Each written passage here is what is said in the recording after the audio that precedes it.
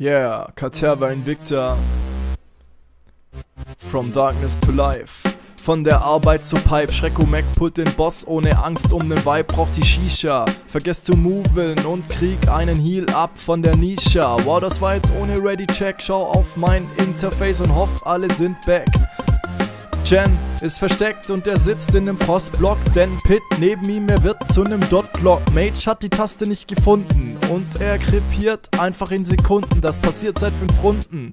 Schau auf den Kopf von meine Kohle geht aus. Allem voraus rennt Engelschild mit Bubble durchs Feuer. Gähnt in sein Mikro und meint, ey, der Abend wird teuer. Ich kann das. Doch ich wollte es nicht anders. Chrissy, unser Bär, wird von Wasserul am Bauch noch rasiert.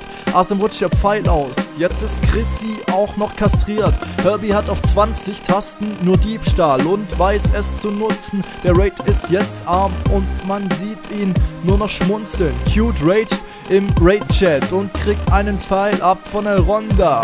Nekash tankt alleine und macht nen Konter.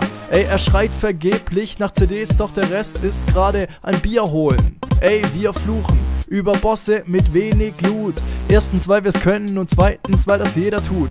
Ich hab's im Blut, das wird ne ganz starke Nacht. Der Boss macht einen Cleave, oh, da waren's nur noch acht. Isamo und Black Rose denken sich, was jetzt los? Ey, der Raid droppt und sie hielen sich die Finger blau. Tja, die Fights sind hier immer rau. Und Sevida findet's dumm, doch sie skillt für uns um und es macht auch noch Bumm. Und der Boss liegt tatsächlich. Wir sind erstaunt und glauben es echt nicht. Und ihr denkt, dass das jetzt alles war? Ich höre ein Reh von Tony, denn der war AFK.